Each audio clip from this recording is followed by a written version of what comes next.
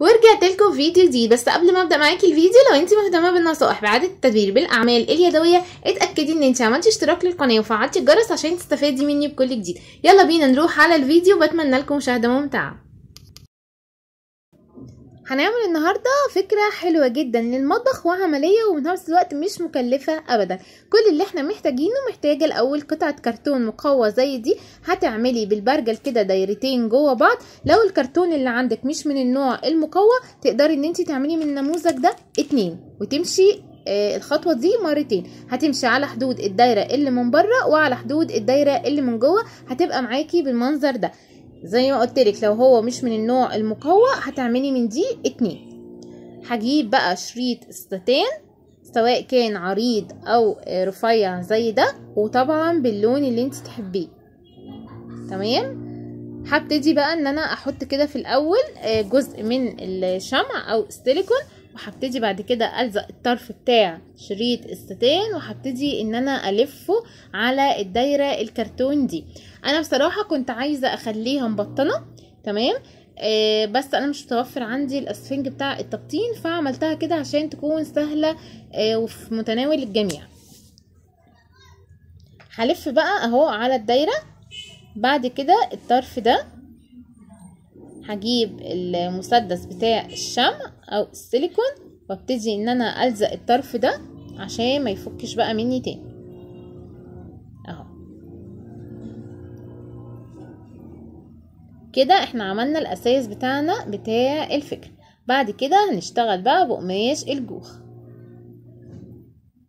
أنا طبعا من آه من على Pinterest تمام؟ من على النت من على موقع Pinterest طبعا النموذج ده كذا مرة تمام؟ يعني طبعاه اتنين.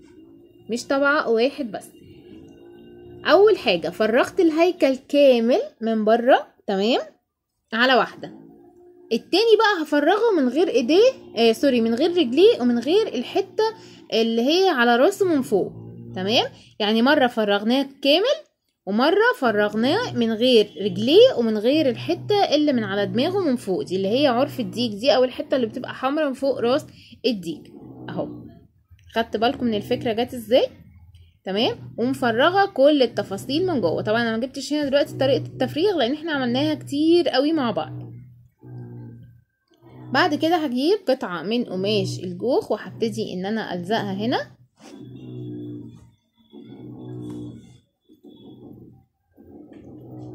عايزة أقولك لو أنتي بتدوري على مشروع ليكي من بيت ده مشروع مربح جدا.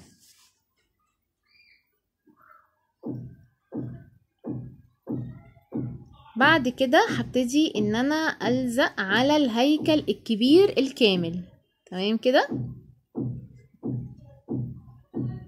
وبعدين هجيب الهيكل اللي هو الصغير اللي من غير الرجلين ومن غير الحتة اللي من فوق وهبتدي إن أنا ألزقه على الهيكل الكبير.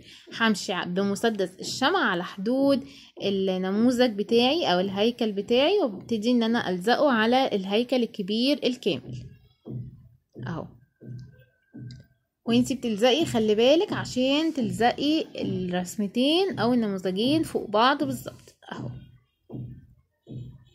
أنا هنا الدايرة بتتحرك معايا فأنا مش حباها كده تكون بتتحرك حباها تكون ثابتة فهبتدي إن أنا إيه أثبتها كده بمسدس الشمع ومن الناحية برضو التانية هثبتها برضو إيه بمسدس الشمع.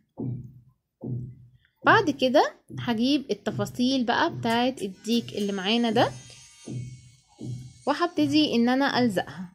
الرجلين بقى والعينين ومنقاره بقى وكل حاجة. بس قبل ما أبدأ قبل ما أبدأ أعمل الخطوات دي هبتدي إن أنا أعمل ليها تعليقة كده صغيرة من فوق بشريط الستان. تمام؟ هحطها على الحتة دي. وبعدين طبعا هي كده ده وش ال... ده ال... الواجهة الأمامية. هتقولي طب لزقت التعليقة كده إزاي؟ عشان أنا هلزق بقى التفاصيل فهي كده كده مش هتبان. يعني بص لما ألزق القطعة الحمراء دي. تمام؟ بصي مش هتبان اهي. فهمتوا؟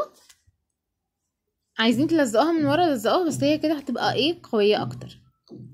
بعد كده هعمل رجليه. هلزق بقى الحتتين اللي من تحت دول. اهو.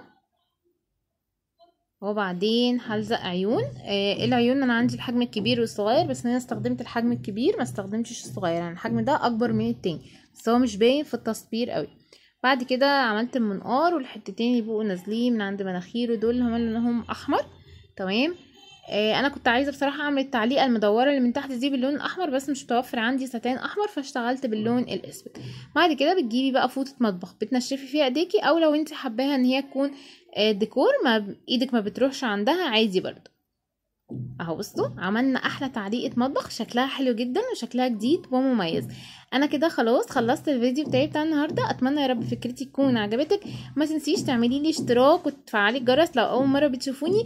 وكمان ما تنسوش ال like يا بنات لأنه بيرفع معايا الفيديو بيفرق معايا جدا جدا. وما تنسونيش في تعليق حلو منكم اللي هو ال comments تحت الفيديو. أشوفكم على خير الفيديو اللي جاي ومع السلامة.